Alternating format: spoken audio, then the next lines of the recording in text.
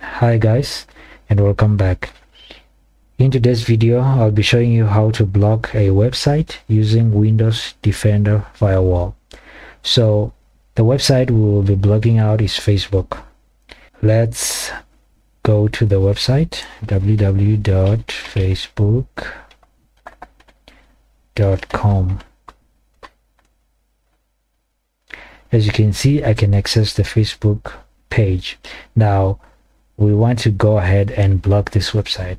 So we're going to open our Windows Defender firewall. For those of you that have a horizontal bar you're going to come and search here. Type in control panel. I prefer to have my bar vertically. Now there are three view options. So you can either go to the large icons which will give you all the sub menus in one screen. Now this is what we're looking for.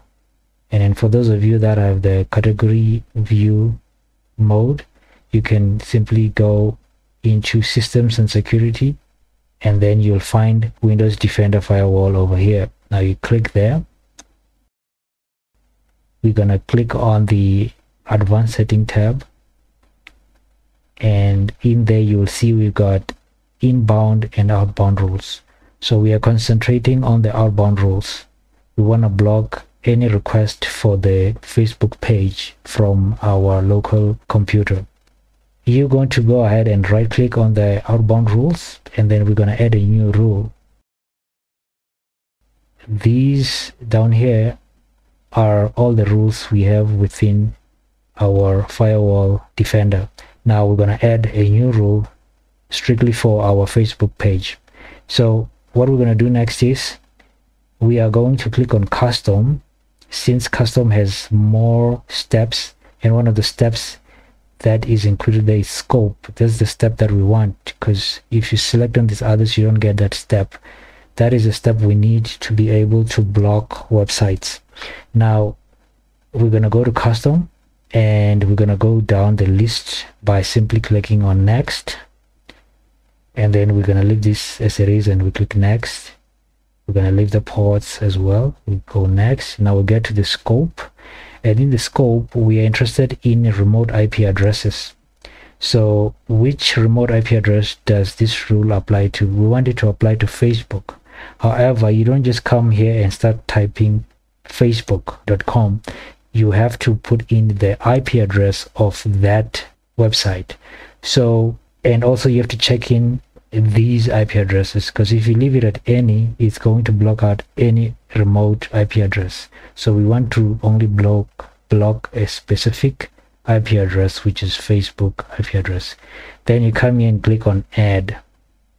So you see here it asks us for that ip address you could be asking or wondering which what is the ip address to facebook.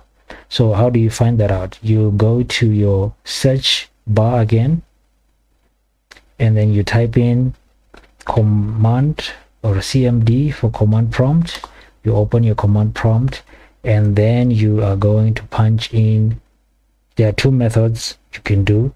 You can either ping www.facebook.com and it will ping the domain name or the website. So you have to have internet connection to have this happen. So now you can see it also resolves the ip address to that domain. Now another method let me clear out the screen clc to clear i mean cls to clear the screen. Now uh, the second method is the ns lookup method. So you say ns lookup and then you type in the ip address or the the domain name facebook.com click enter and as you can see we actually have more information this time. We have the IPv4 IP address and the long one is the IPv6 so we are going to copy the IPv4 control C and we're going to paste it there. Paste and then you're gonna click OK. However we still need to add the second one so that we make sure we block both the IP addresses. So we're going to come back here and copy the second IP address which is the IP version 6 IP address. Now we copy that and paste it over there. So we click OK. So now we've got both addresses added. So what we're going to do is click next. So it asks us for the action. We don't want to allow the connection. We want to block the connection. So we leave it at blocked. So we click next. Now i don't have a domain with this computer however i'm just to leave all these three checked that's fine it will still work next so now we need to give our rule a name since all the rules on your Windows Defender have names, we need to give it a name.